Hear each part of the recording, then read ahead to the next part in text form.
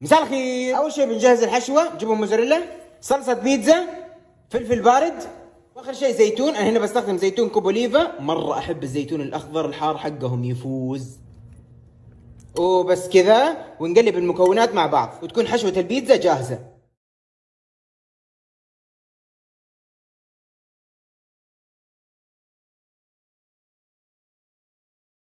وبس كذا على الزيت أو بالقلايه الهوائية. وممكن تفرزنوها بعد.